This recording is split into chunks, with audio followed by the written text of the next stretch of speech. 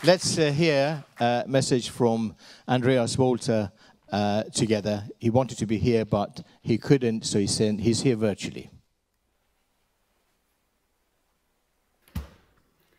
Dear ladies and gentlemen, I'm extremely pleased that your conference celebrating this in 2022 is taking place in Cologne.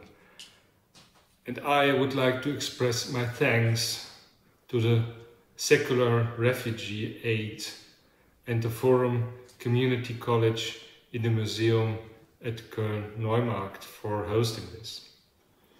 Also, my heartfelt thanks goes to the Council of Ex-Muslims in Britain and the Freethought Lebanon for the essential organization.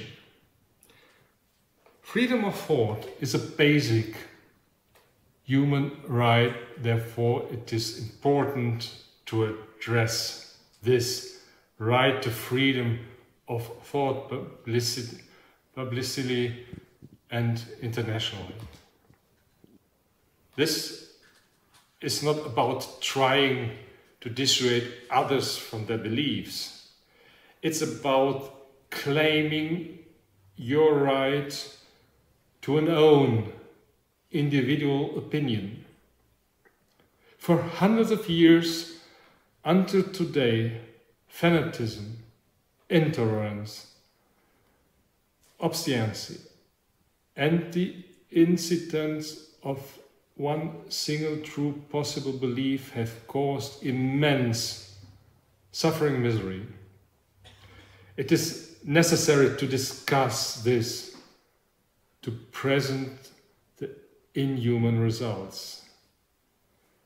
If states, communities of faith, fanatical groups deny people their basic rights because they consider those other beliefs an incorrect belief.